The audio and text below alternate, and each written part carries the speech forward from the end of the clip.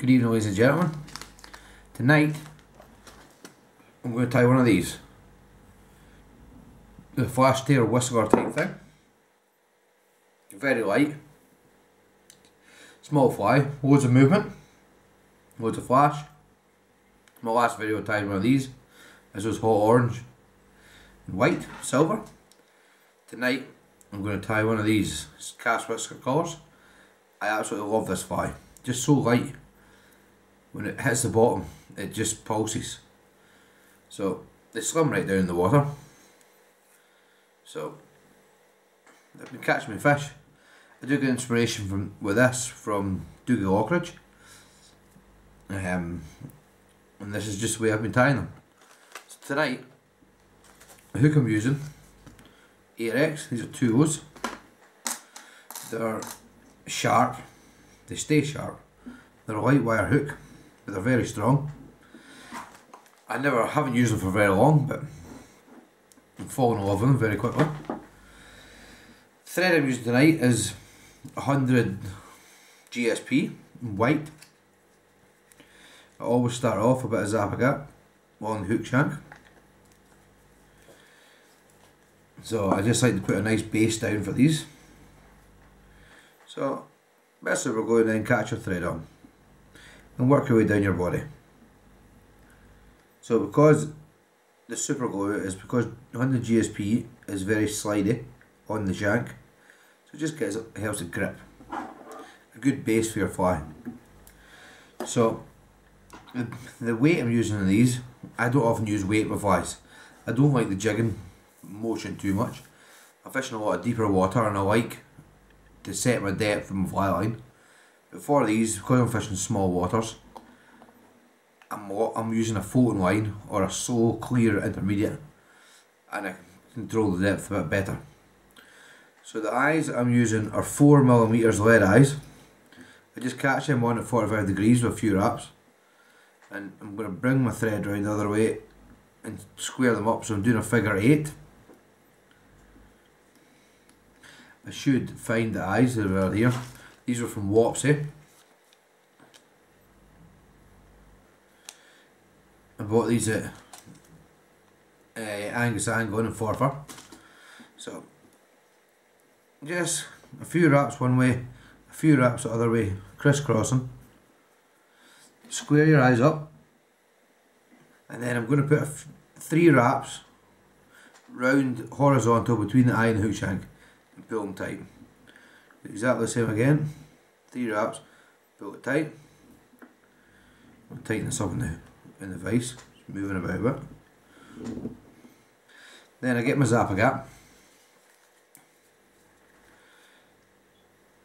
A bit in the top, a bit underneath, and then I just continue with the process again. So, a dozen or so wraps one way, doesn't show wraps the other way. Then a three wraps horizontal. Pull tight and that's it. They'll never move from there. So bring your thread down to between the point and the barb. So still moving about the vise. There we go, must need new jaws. So I've got my, my thread back here. What I'm going to use for the tail here I'm going to use, my scissors, white bucktail. It's a brilliant bucktail. I got this from um, Cook's Hill Fly Town. going to take not too much, but a healthy, a healthy amount. Get rid of all the loose bits. Trim the end square and tie in on top of the hook. Four loose wraps give it about half tension, then just push it down and it goes round the hook. Then tidy everything up.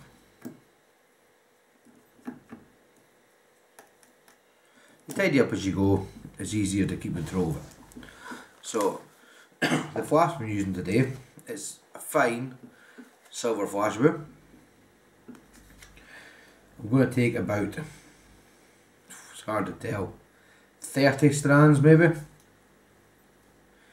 40 strands 30 I would think and then I'll taper the ends. Taper everything your fingers, it's easier to do than once it's tied on. So just both ends, just make sure everything's lying straight. I'm going to catch this in. This dictates the length of my fly. So I want about a 6 inch fly. So catch it in right on top of the hook with three or four loose wraps. And all that is is the weight of the bobbin holder holding it in place. So what I'm going to do, I'm going to spread it about my nail so it gets to about 180 degrees. And then I'm going to pull tight. I'm going to take take the rest of these and I'm going to split them. I'm just going to pull them down the sides, pushing them underneath. And I'm going to catch everything down. Just give it a quick comb just to make sure nothing's caught. And that's to be a good spread around the hook. Not happy with any bits, if there's any bits doubled over, just run your scissors through. Make sure you're happy with it.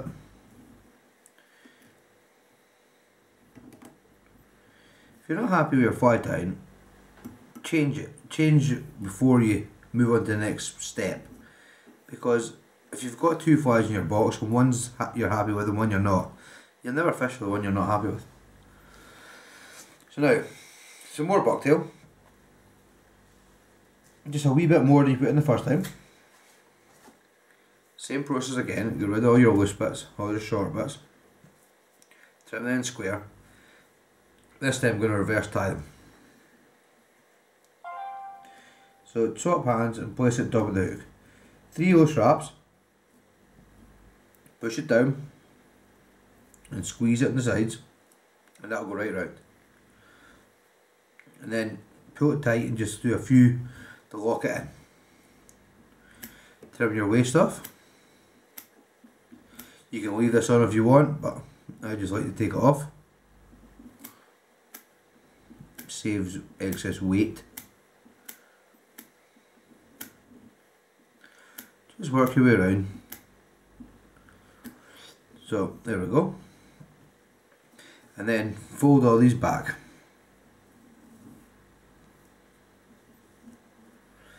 Bring your thread forward and then catch everything. Oh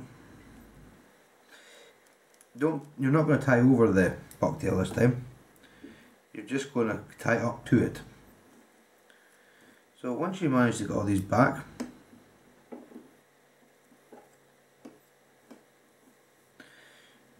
massage it down them those puts a kink in it. And then build up your thread in front of the bucktail just pushing it back. Don't tie over it. Just push it back to the desired angle you require. This angle is going to be about 30 degrees. I think I've moved out. Mm, just keeping a bit more. Because you're building a taper, if you find your thread slipping, little trick, put old dab of super glue on your thread and then continue wrapping. Just continue wrapping up and down. Just building it up you get your desired angle. That's the angle I'm wanting. So I'm going to bring my thread just in front of that. I'm going to tie some more flash in. So the same amount of flash again, 30 strands or so.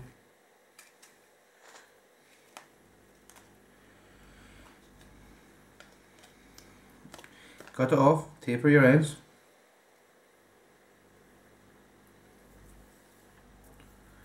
Taper both ends. We'll er tie it in 50-50.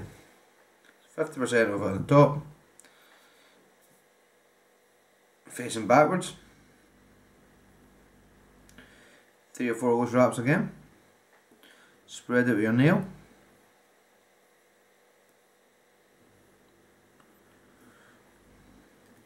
And then this one, just fold it back underneath.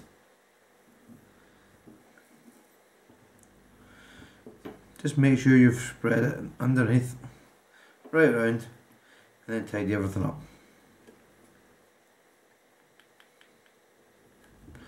There we go, it's a good spread round. That's giving you loads of volume but no bulk. So I'm going to repeat this process again. So more white bucktail.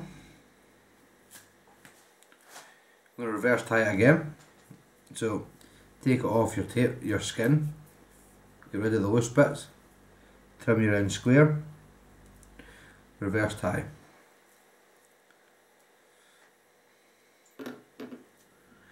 So trick again, put it on top of the shank, four loose wraps, four or five, push it down with your nail, squeeze the sides and that will spin right round. Then pull tight. Few locking wraps. I'm not going to bother trimming my waste off this time. Pull everything back. Bring your thread forward.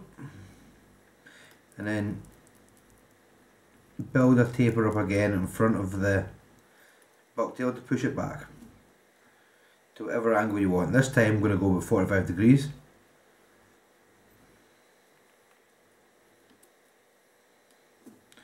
There we go. Just make sure it's all sitting nice and you're happy with it.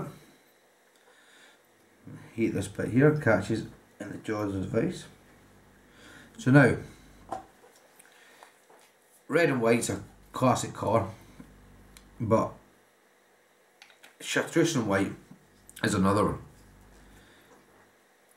A lot of guys say, especially in Canada, chartreuse is, if it's not a chartreuse, it's no use. So, what I'm using for this is Marabou. It's a Castle Feathers Marabou. It's an eBay shop, best in the market comes it's a lot it's very long and it's supple so I'm going to do here I'm going to take the point of it I'm going to stroke some fibres back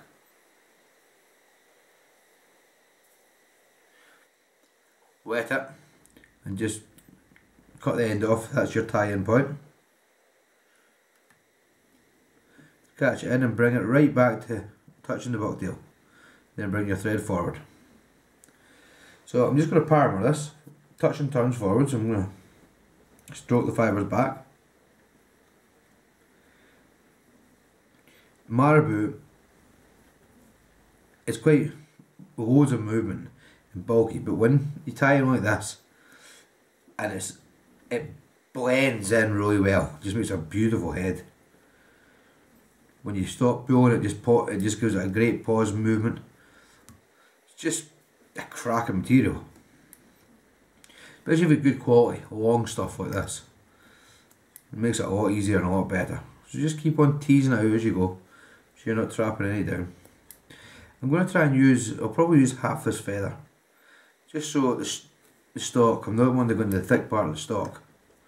Probably got one more wrap in there. So, when you got to that stage, work your thread through. bring your thread round through a couple of turns, probably three, that'll lock it in. And then pull it back, the stock back, and just tie over it.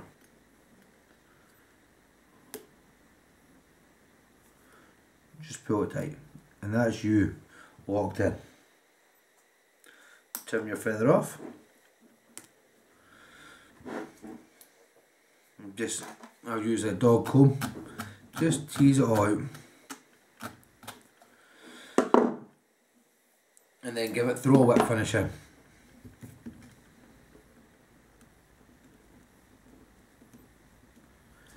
Because I'm um, not putting eyes or anything on here, to finish this fly off I'm just going to use a bit of super glue or varnish if you've you got tie varnish.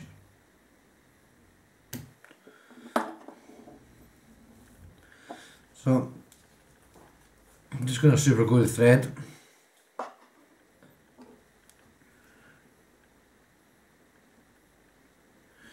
Top and bottom.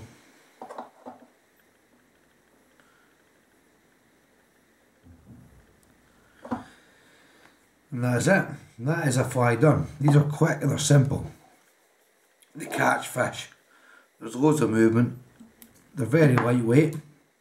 They look messy just now. Move this vice out of the way. They look messy, but in the water when they slim down, they're just awesome flies. They'll catch a fish. You can tie these in a million different colours. Different flashes, different bucktails, different marabous. You can even use, instead of marabou, you can use laser dub in the front. So that there is two patterns I use quite a lot. Also use a black with silver flash or black or red flash and red marabou. Works well. Well, thanks for watching. Please subscribe, like the videos, share them. See you next time. Thank you.